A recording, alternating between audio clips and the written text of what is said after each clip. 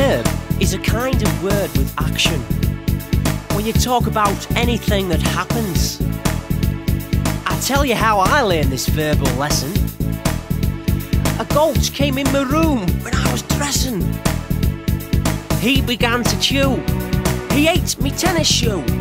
And when the goat was through, I heard him say his favourite verbs.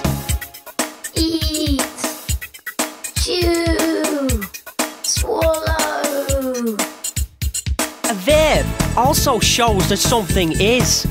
Like, that shoe was mine, now it is his. I'll tell you how I learned this verbal lesson. That goat came in my room when I was dressing.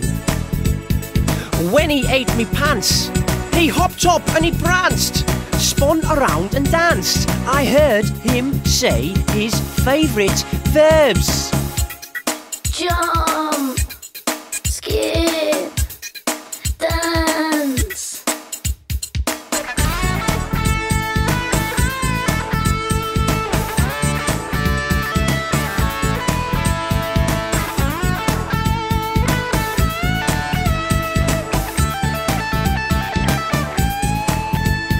Had such an appetite.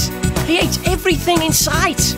And upon his final bite, I heard him say his favourite verb.